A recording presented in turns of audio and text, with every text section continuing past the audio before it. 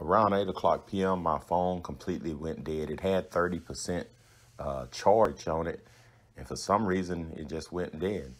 So, what I did, I went on YouTube and tried a few things, and it still didn't work. So, I don't know really what happened, but what they tell you to do here on YouTube is to press the power button and the volume button at the same time and hold it for about 15 seconds. And like I said, I tried that. What I did, I pressed the power button. As you can see, just press the power button and the down volume button for hold it for 15 seconds. And they said it should come back on and reboot itself, but mine's didn't.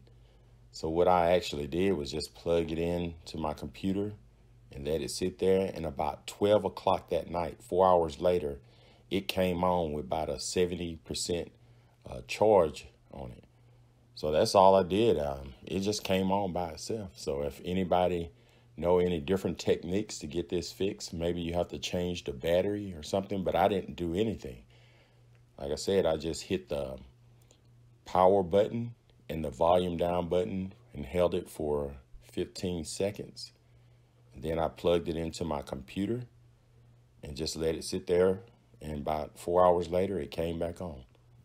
So before you go and take this in and take it to a repair shop, just wait a few hours and see if it will come on while you got it charged, charging into your computer or your wall outlet.